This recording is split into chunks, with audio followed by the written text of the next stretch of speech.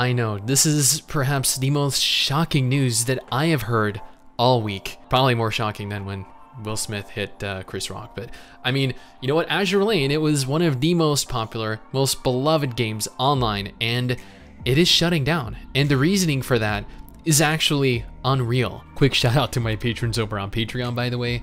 Since this channel is not monetized, every patron counts. Now, according to information over on Reddit, Azur Lane and its developers have been under heavy pressure to shut the game down for longer than we had actually ever thought. This is due to the characters that are present within the game, characters and more specifically, character models like Cheshire, like Taiho, Agir, Shinano, Friedrich, New Jersey.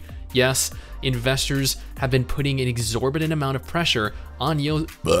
Don't laugh. That was incredibly professional. Uh, yes, investors have been putting an exorbitant amount of pressure on Yostar to either remove all instances of characters showing any skin, or to just shut down the game entirely.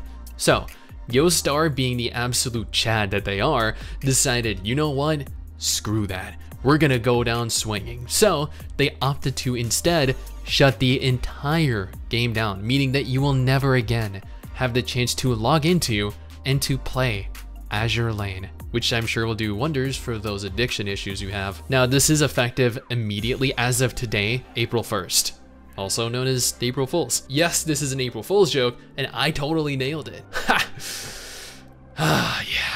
I'm awesome at this. Thank God it is an April Fool's joke though. If this were real, then it would set an unbelievable precedent for video games in the future.